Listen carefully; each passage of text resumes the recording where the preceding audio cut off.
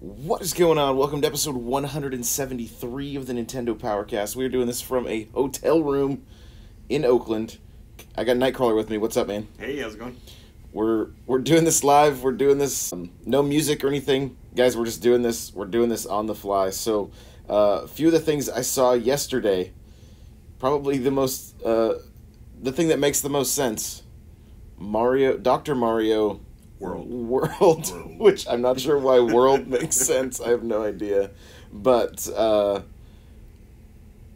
it was just a pic. All I saw was a picture. I don't think there was any gameplay. It says summer, so um, apparently this summer we're going to see Mario Kart Tour and Mario Kart or and Dr. Mario World.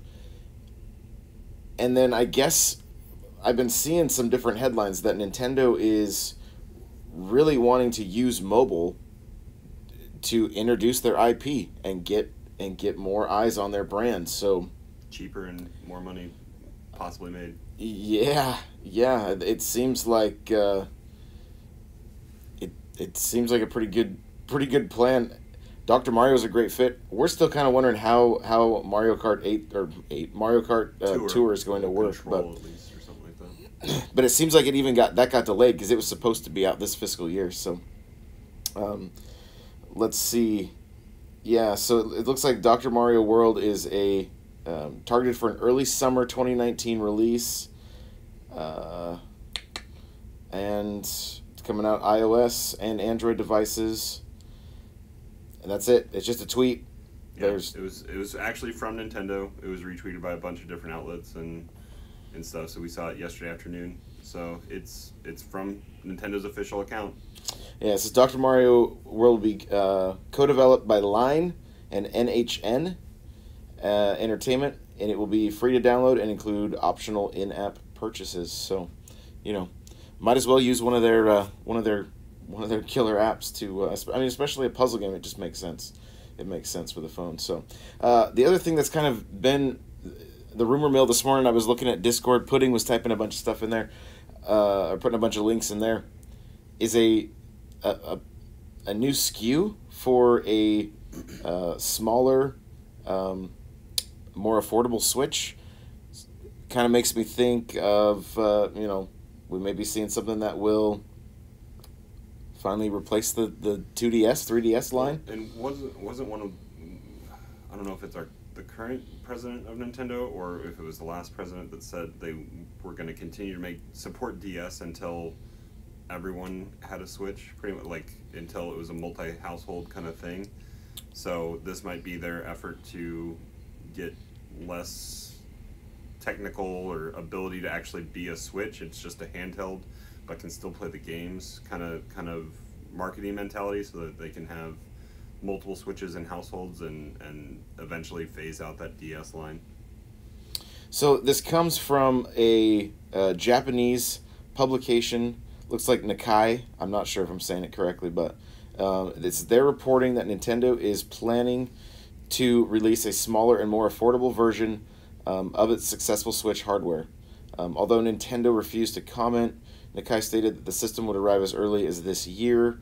Uh, it looks it looks like it's pointing towards the, the end of the year, um, according um, to system suppliers. A separate source said that the aim is to focus on portable play while omitting certain functions to reduce the overall cost of the unit. So more than likely, Joy Cons that would not, um, that would Stay that stay connected all the time. Yeah. So, um, you know, I mean, hey, if it's a little more kid proof, I've said this before. Like, like, I'm for it, right? Because if they can, if if I can get my nephews, my nieces, that kind of stuff, systems that they can they can drop because that's what kids do. I think my my nephew's 2DS. I think it took about six days before the screen went out. As long as they don't make it look like the wedge. Just Just don't make it look that, that bad. yeah, and I mean, I wonder like, are they going to make it to where it could still fit into a dock? Is the screen going to be much smaller? Because all that kind of stuff lowers the lowers the price. So, you know, we'll see. We'll see. I guess. Um, other than that, that's kind of the the big new, news. New Splatfest was announced. Talk Yeah, yeah. Here we go, guys. This is this is great. pancakes or waffles. All right. What are you gonna What are you gonna choose for the new Do we have a new date for that? new Splatfest? Not, not obviously not this weekend, but is it next next weekend then?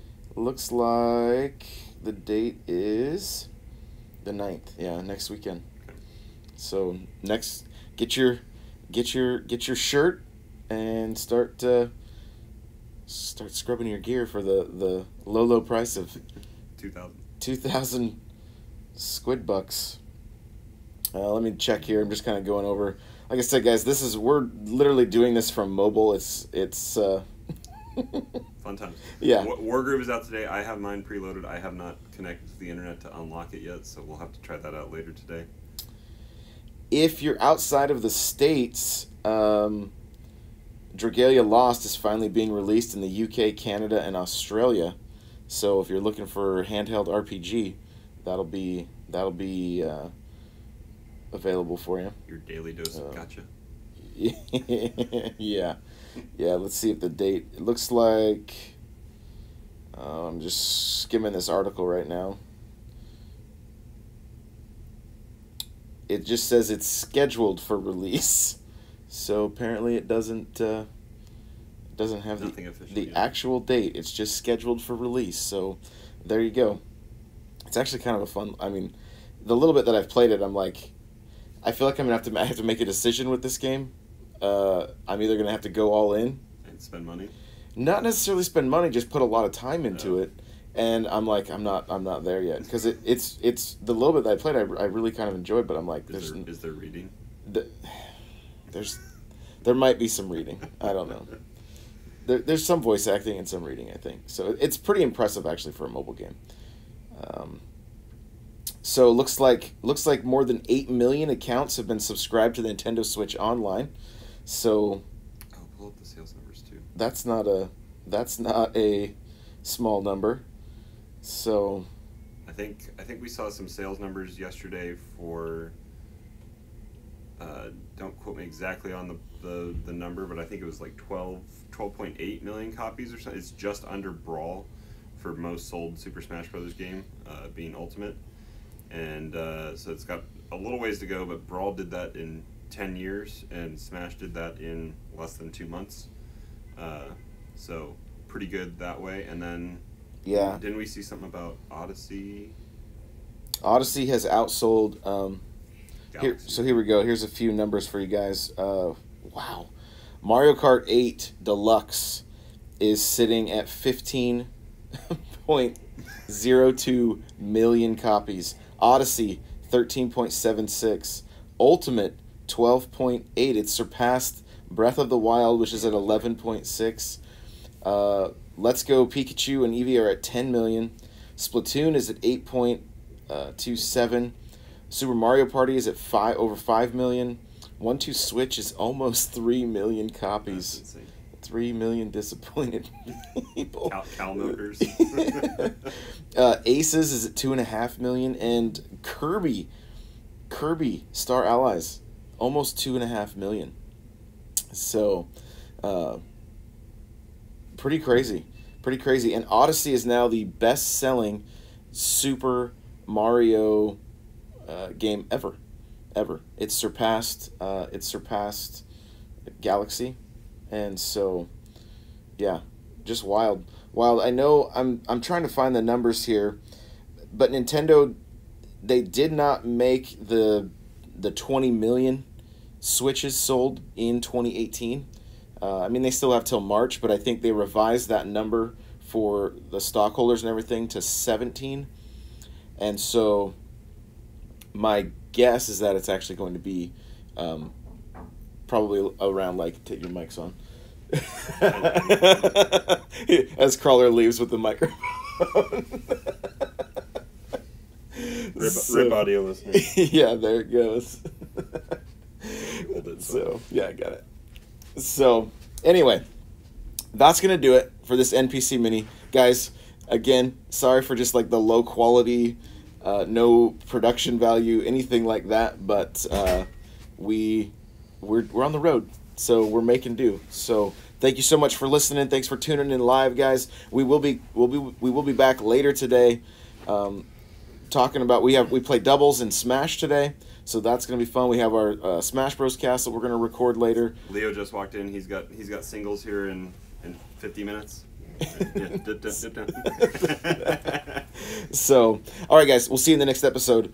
Thanks so much for being here. Bye now.